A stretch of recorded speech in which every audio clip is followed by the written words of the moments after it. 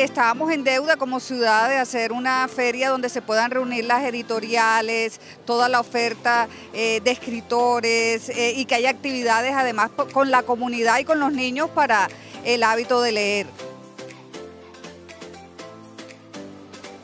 Me parece muy importante que todos participemos de estos espacios y a nivel costa que se esté desarrollando este evento aquí en Barranquilla es sumamente importante y espero que todos sepamos aprovecharlo. Sí, esto, estos son espacios que deben, deben realizarse con cierta frecuencia al año, entonces creo que la lectura es algo importante para ellos.